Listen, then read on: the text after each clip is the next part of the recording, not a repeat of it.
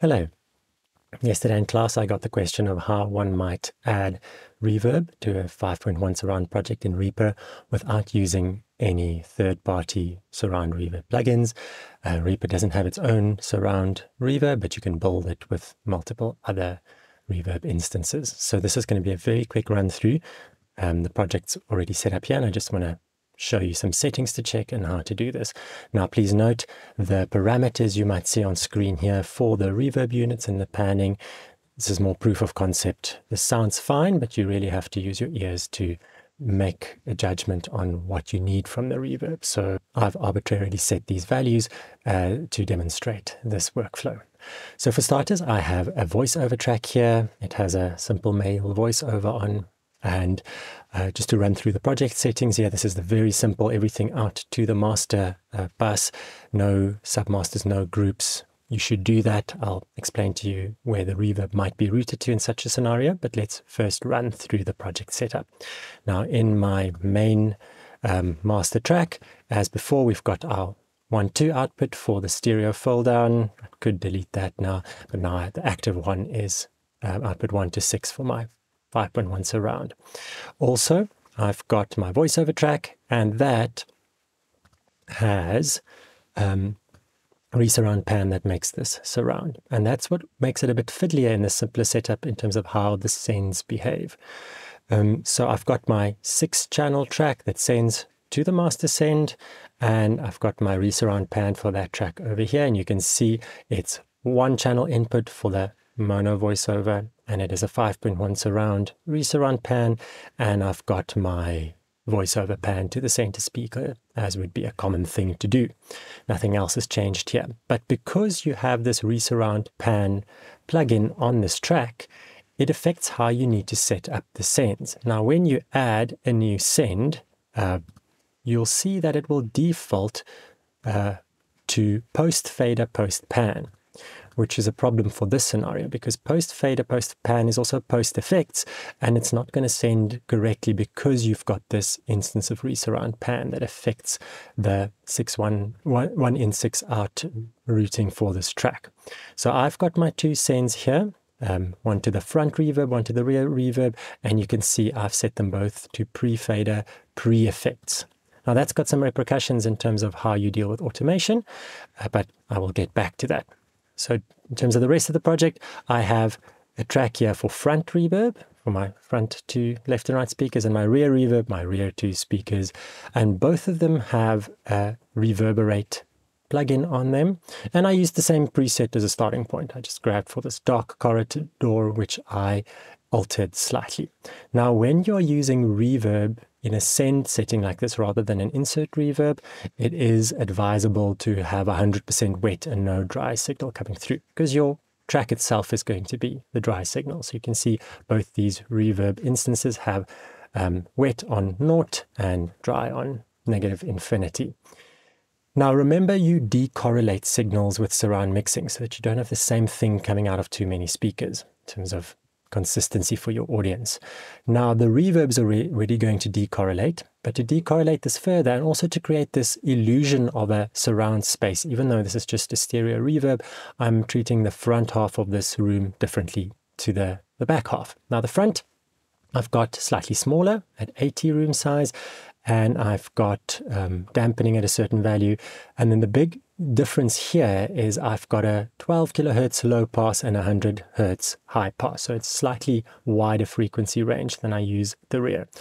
I don't want too much high frequency content behind me in this setting because I don't want people to look around. It must be a bit more subtle. So you'll see for the rear instance of ReaVerbate, the room is slightly bigger, um, but it's also more limited. It only goes up to 8.5 kilohertz and it only starts at about 600 hertz. As I said, arbitrary values, but it does decorrelate the signal nicely. And then also importantly, to decorrelate other than on the spectral um, domain, I've also got a initial delay that's longer, 60 milliseconds here versus 20 milliseconds in front reason being, let's just say that it takes longer for that sound to get to me to get to the back of the room. You can tailor these to sound as nicely as you want them to. So those are my two front and rear reverb tracks, and you have to put them in the front and the rear. So you'll see here on the tracks, I first have the ReaVerbate plugin and then ReaSurroundPan last. Remember, treat the sound first with processing and then have ReaSurroundPan last in the chain when you need to put that somewhere in the space. And you'll see these are already open. This is my front reverb, just same setup, two channel input now because it's a stereo reverb that I'm using. And um, it's panned hard left right to my front two speakers and the same for the rear reverb, rear two speakers, very simple. Now in this setup, we're going to have reverb on left, right, left surround, right surround with nothing on the center channel. Um, which is not an uncommon thing to do with reverb treatment for 5.1 voices, uh, but I'll show you how you could get a little bit of reverb into the center channel if you wanted to. A better way would probably be to have a third track here that's a mono track with center reverb with another instance of ReaVerbate that you tailor exactly what you want to come through on the center speaker with a third send for that, which I've not done now. So I'll, I'll show you a workaround. Um, this is YouTube. There's no surround. I'm not going to give you playback of this project, but for the class listening to that, I'll just give you the file that's open in front of me so you can open that and look at this project in Reaper, hopefully in the studio where you can listen to it in surround. Now, things you have to check quite carefully. I've put my two reverb tracks in a folder track. And um, as I've said previously, I still need to make a video on the behavior of folder tracks in surround projects, but do double check that your folder actually passes through the right audio. Now, no groups or submasters, so this is going out to the master, but that folder would default to two tracks width, so that won't send it properly. You'll only get reverb in the front. So that has to be a six width um, for this rear surround to come through properly because any track nested in a folder passes audio through there unless you set it up differently with sends and, and other routing. Um, nothing else is really done very specially here, but if you play this back, you can look at the meters. You'll hear something over my um, boundary mic here. Dear Mary, you know I love you and the children dearly.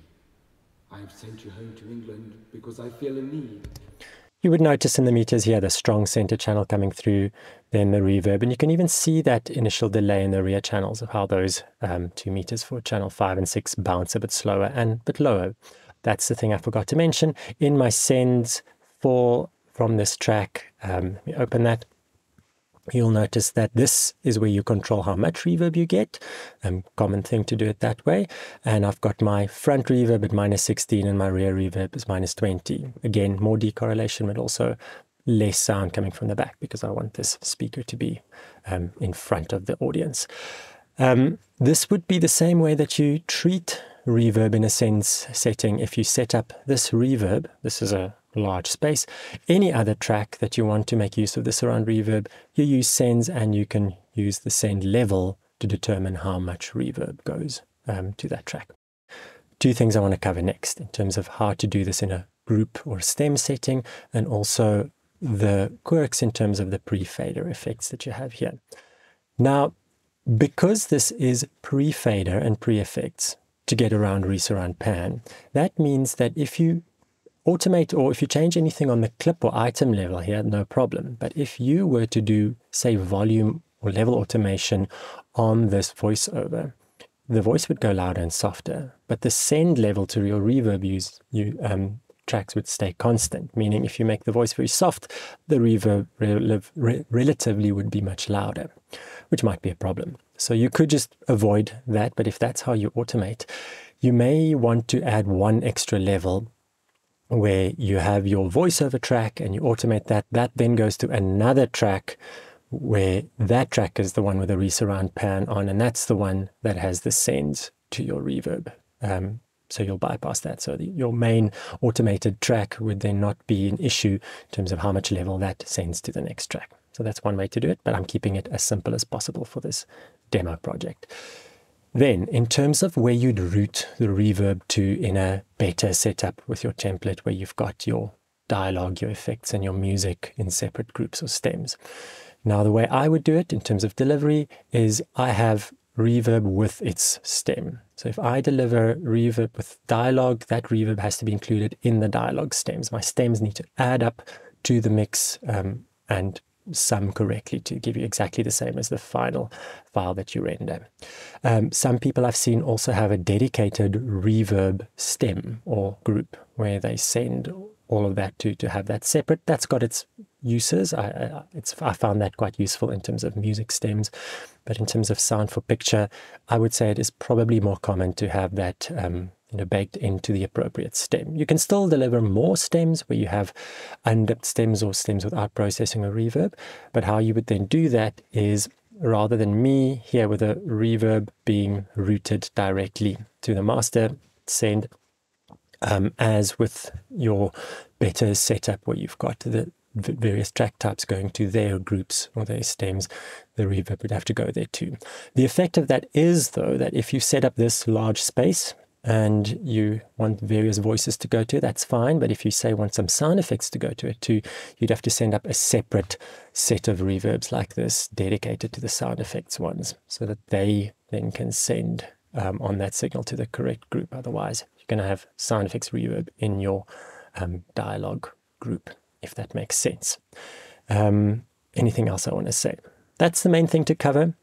Uh, what I do want to show you that you can play around with, this is probably not the best way to do it, but it is a way that can get you some reverb in your center channel quite quickly, is uh, you can either just pan differently here. Now this is hard left and right, and if I were to pan that reverb, say like that, then a little bit of that would bleed into the center channel. I could also similarly change this to divergence. Now this is my front reverb ReaSurroundPan. And if I increase the divergence, um, this will start bleeding over into the adjacent channels, but this would not only get into the front, but also to the rear channels. So you could even play with this if you just have a front reverb with quite a lot of divergence, that will already give you, in a sense, some form of surround reverb because you'll have most of the reverb in front, left, and right, a little bit coming through on center and a little bit coming on your rear channels. You don't have a lot of flexibility of tailoring that, but that would give you some signal coming through on those channels. And you can see maybe that's enough in terms of the, the reverb use case that you have for the project. Okay, the last thing I want to do is just render this to show you that it does work correctly. Now with rendering in Reaper with surround, and especially if you've got groups and submasters in between, you have to check your routing very carefully. Otherwise you might get an incorrect render. So I've got my render video um, window here. I am going to render the master mix, not stems, and my time selection is just the clip at the moment. Remember to check that you're rendering six channels our sample rate's 48 kilohertz. I'm going to stick with broadcast WAV here, and it's already a file name. Now you're going to see in the little picture of the, the render, there's obviously going to be a lot of a big waveform on the center channel 3, and then a little bit of content on 1 and 2, front, left, and right, and then very little content on the, the rear channel. So there might be a little blip or two, but you might not see much because I've intentionally have very little reverb on there. Um, but it's a good idea to check that picture in terms of that it rendered correctly. This project did not include the BLITS tone at the start. Um, always do that. It really helps you to see if things have routed correctly um, by looking at how all of those tones come through. So let's see what this render looks like. And there you can see my center channel, a little bit of reverb there. And there's, if you look very carefully, some blips on the rear channels. LFE empty, I didn't send anything there. And you can see I happen to hit my loudness spec here by where I've leveled this voice by ear. So there you have it. Quite a simple way to create a surround reverb using just stock plugins directly in Reaper.